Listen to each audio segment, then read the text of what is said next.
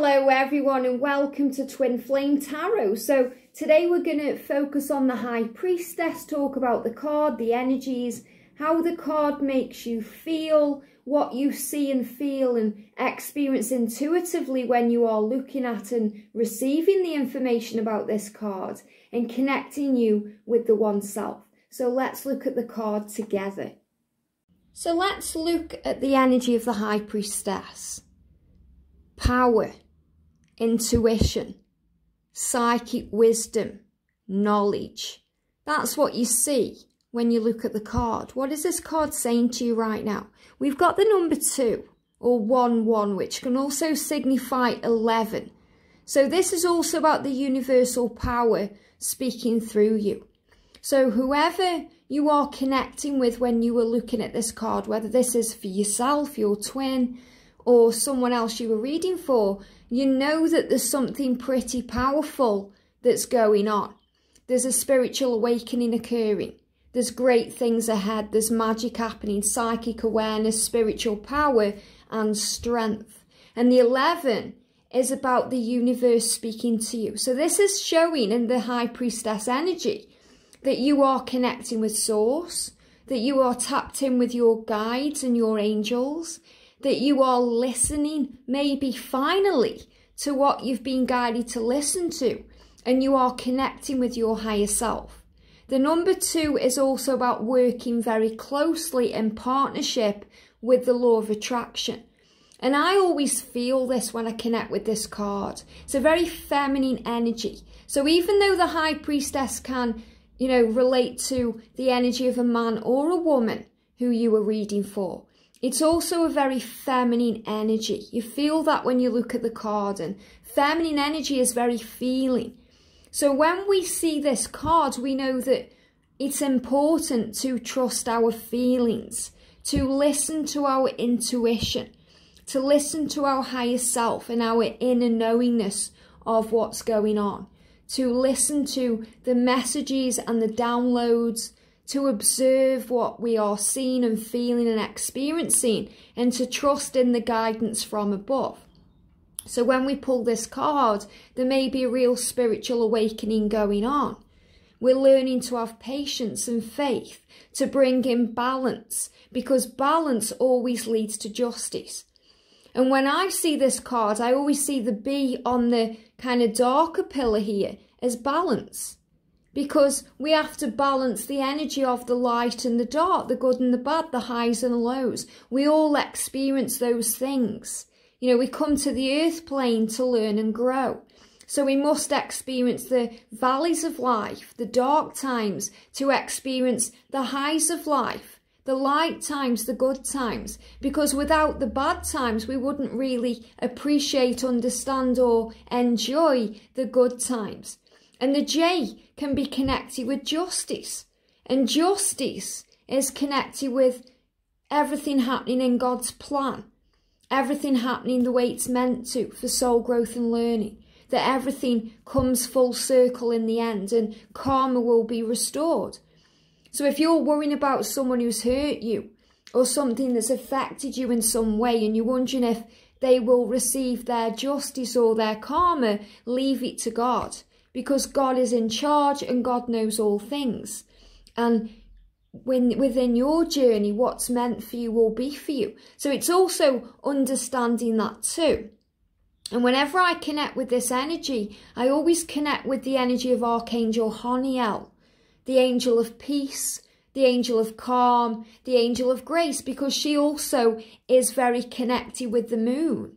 And the moon is also connected with the high priestess because the moon is about reflection and intuition and healing. There's something quite magical when we go out at night and look at the moon. You know, we feel that power.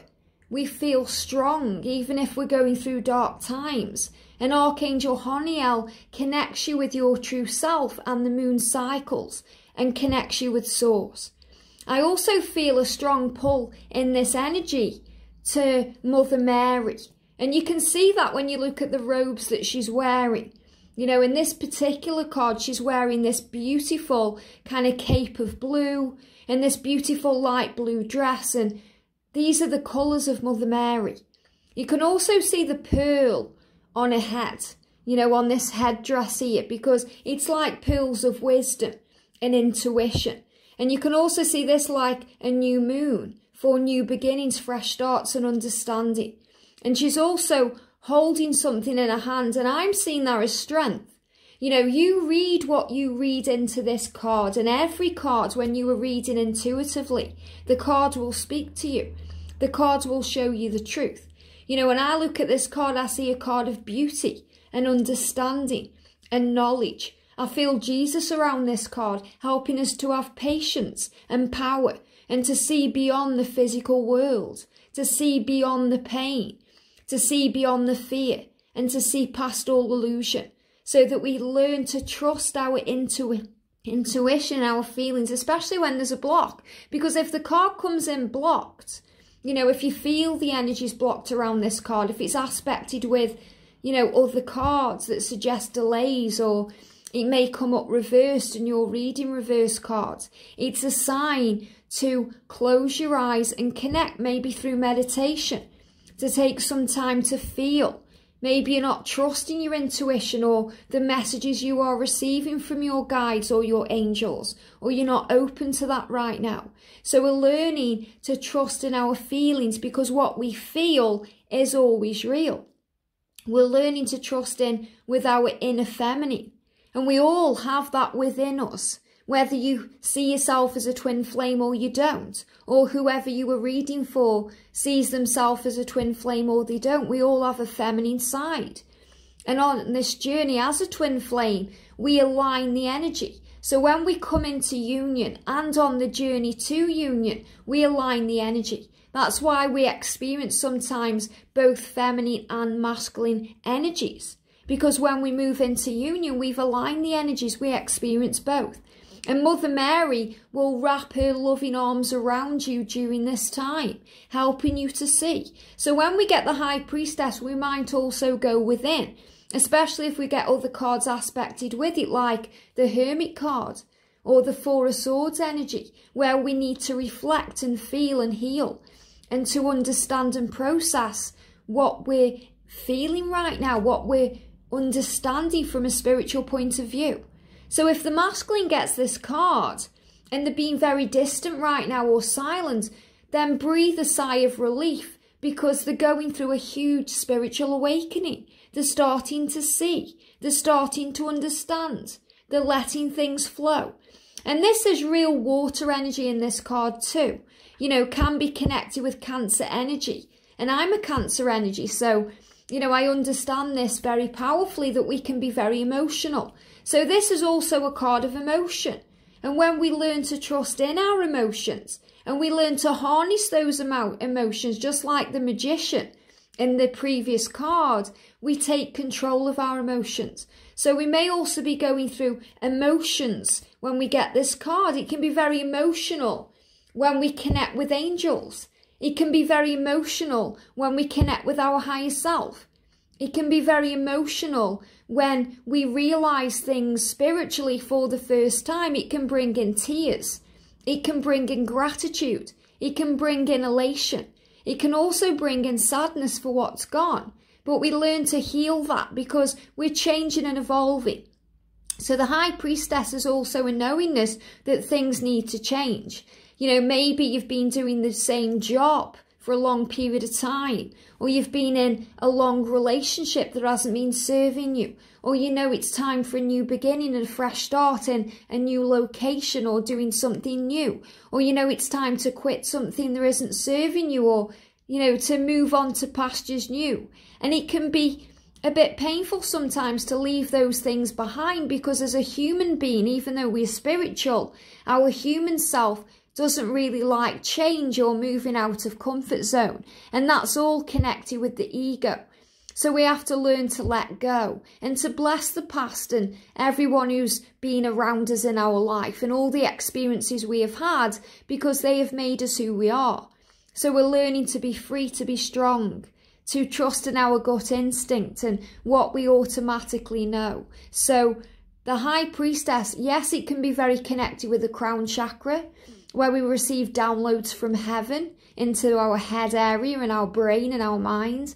But it can also go into our third eye, our psychic centre, where the pearls of knowledge are, and we learn to see past the physical 3D world, what some people call the matrix, the reality, or the wool that's being pulled over our spiritual eyes.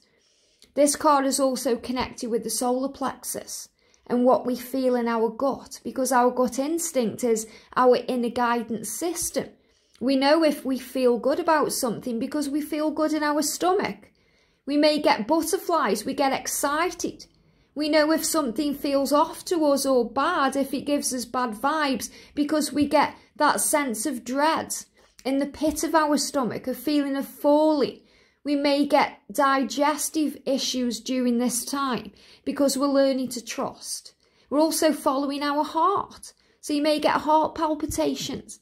You could get pain in the back because you're learning to overcome fears of moving forward or changing things. Endings to bring in powerful new starts. So there's so many things you can feel and see in this card. They're also showing me the beautiful tapestry behind her there as sunflowers or flowers or power. You know, they're showing the me also as trumpets, which is about illumination, God's plan, connecting with your mission and your higher self, and things blooming and growing. So whatever you're seeing in this card, it's speaking to you. They're also showing me these kind of symbols here as historic wisdom. Archangel Metatron coming to you and aligning all of your chakras, giving you all the information and all the guidance that you need. And those pillars too are also about strength and support. Angels all around you.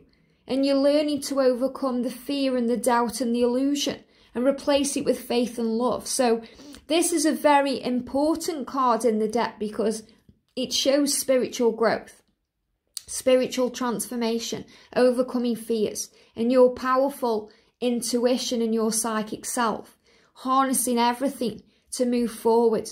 And they give me a little bit of fear because sometimes we can be afraid of that.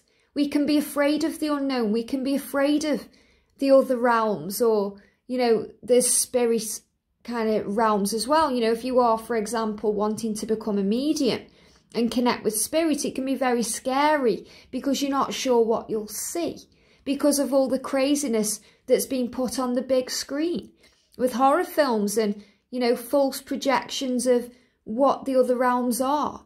So we overcome fear, we call on the angels. So when you're connecting with your psychic self, you may call on Archangel Michael to protect you from lower energies or vibrations, to protect you from harm or psychic attack.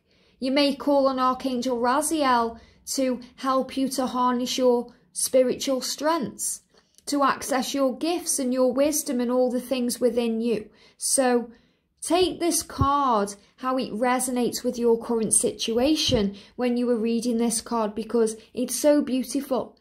You know, it's so powerful. It's asking you to trust, to trust what you're feeling, to trust your intuition, to trust your gut instinct and that inner knowingness and that feminine energy inside of you.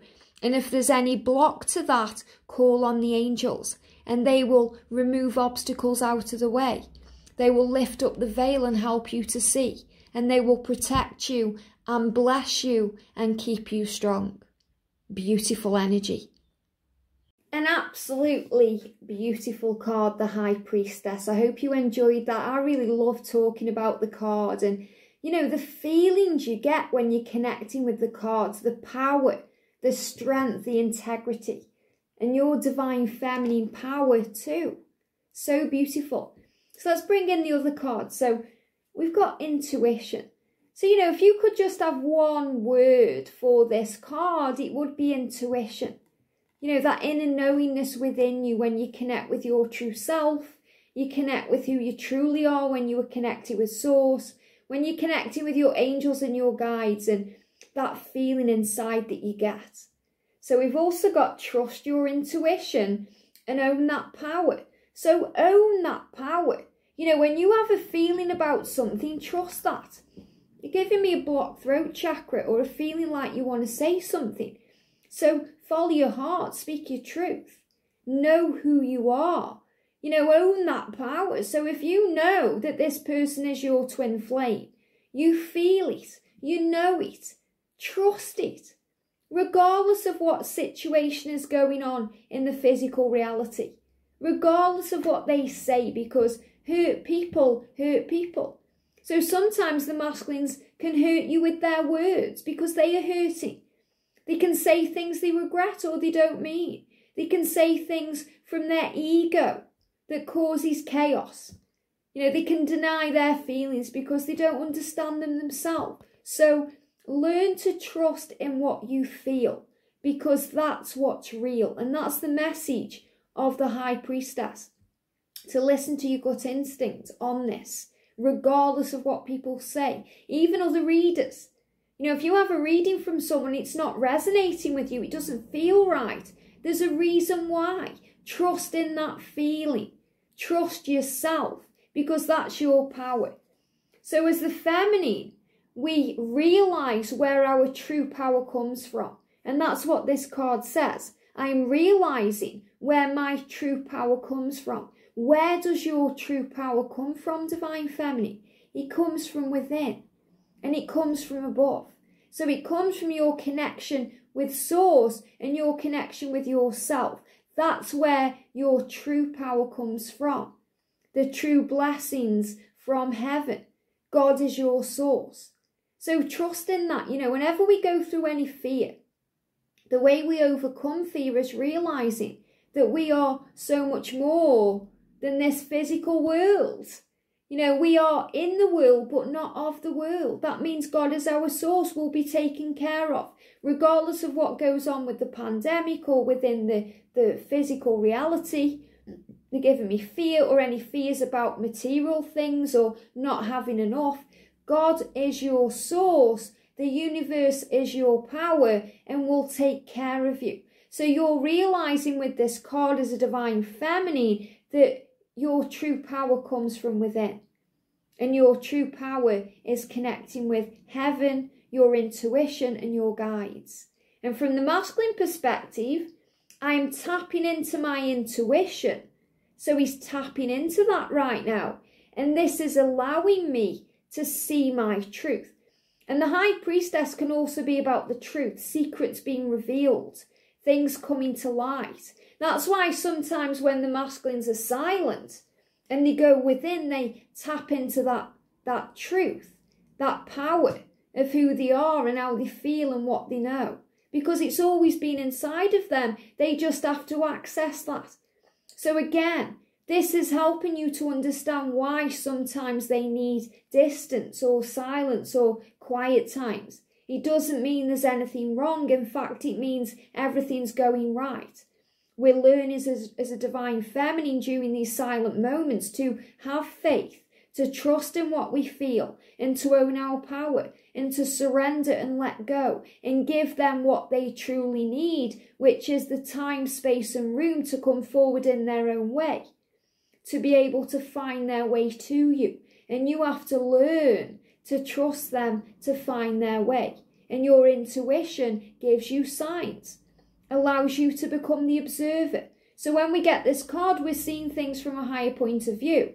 That means we're paying attention to signs and synchronicities that help to give us faith and power and knowledge and understanding of what's going on.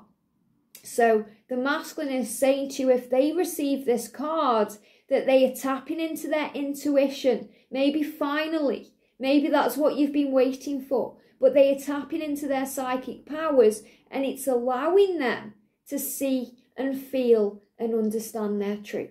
So, an absolutely beautiful card to remember your power, know your worth, and connect with Source. And call on the angels, call on Mother Mary, call on Archangel Haniel, Call on whoever you are connecting with when you pull this card to look past illusion, see the truth, reveal all the secrets to you, and that will help you along your way. I hope this helps. Have a great day, and I'll see you soon.